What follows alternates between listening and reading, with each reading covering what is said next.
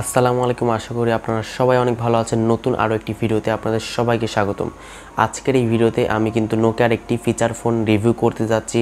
এক সময়ের রাজা বুঝতে পারছেন, প্রচুর পরিমাণ আসলে হাইপ ক্রিয়েট করেছিল নোকিয়া স্মার্টফোন তো এখনও পর্যন্ত কিন্তু নোকিয়া কিন্তু বিভিন্ন পরিমাণে স্মার্টফোন কিন্তু লঞ্চ করেই যাচ্ছে। সো তারই ধারাবাহিকতায় আজকের এই ভিডিওতে আমরা রিভিউ করতে যাচ্ছি নোকিয়ার একটি ফিচার ফোন যার model Nokia one zero five four G এই মোবাইল ফোনটি একটি আপকামিং মোবাইল ফোন বাংলাদেশের বাজারে খুব শীঘ্রই আসতে যাচ্ছে।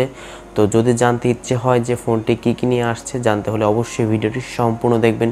পুরো ভিডিও জুড়ে রয়েছে আমি আপনাদের সাথে সালমান সিয়াম অ্যান্ড আপনারা দেখছেন সিয়ামজন ইউটিউব চ্যানেল চলুন তাহলে শুরু করা যাক। ফোনটি ওভারঅল প্লাস্টিক ম্যাটেরিয়াল দিয়ে তৈরি করা হয়েছে অ্যান্ড ফোনটিতে কিন্তু ওয়ান পয়েন্ট এইট ইঞ্চের একটি ডিসপ্লে কিন্তু ব্যবহার করা হয়েছে। ডিসপ্লেটি তুলনামূলকভাবে আমার কাছে একটু ছোট মনে হয়েছে। যদি ডিসপ্লে সাইজটা আরও একটু বড় যদি রাখা যেত, তাহলে কিন্তু ভালো একটি ফিচার পেন ফোন হতে পারতো।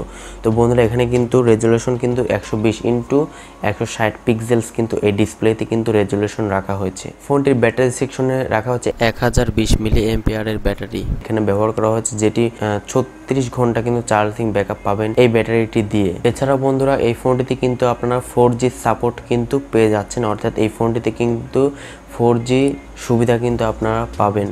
ফোনটির যদি আমরা র্যাম রোমের ভেরিয়েন্ট নিয়ে যদি একটু কথা বলি, তাহলে কিন্তু এখানে আপনারা আটচল্লিশ এমবি কিন্তু ফোন স্টোরস পেয়ে যাচ্ছেন এবং এখানে কিন্তু র্যাম হিসেবে থাকছে একশো আঠাশ এমবি র্যাম কিন্তু এখানে ব্যবহার করা হয়েছে। ফোনটিতে থাকছে না কোনো ক্যামেরা, ফোনটিতে লাউড স্পিকার থাক, এবং এখানে থাকছে না কোনো ব্লুটুথ, এনএফসি এবং জিপিএস এর সুবিধা। ফোনটি তিনটি কালার ভেরিয়েন্টে পাওয়া যাবে, সেটি হচ্ছে ব্ল্যাক, ব্লু এবং রেড। এই তিনটি কালার ভেরিয়েন্টে কিন্তু ফোনটি পাওয়া যাবে।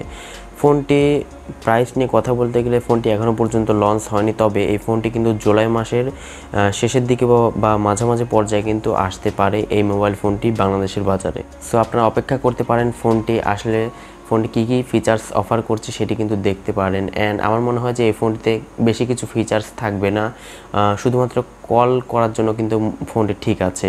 সো ভিউয়ার্স আজকের ভিডিওটি মূলত আমাদের এই পর্যন্তই ছিল। ভিডিওটি ভালো লাগলে অবশ্যই এটি লাইক করবেন। নিচে কমেন্ট সেকশনে আপনার মূল্যবান মতামত জানাবেন। আর এই চ্যানেলে নতুন দর্শক হয়ে থাকলে অবশ্যই সাবস্ক্রাইব করে রাখবেন। দেখা হচ্ছে পরবর্তী কোনো নতুন ভিডিওতে। সে পর্যন্ত সকলে ভালো থাকুন। আসসালামু আলাইকুম রহমতুল্লাহ।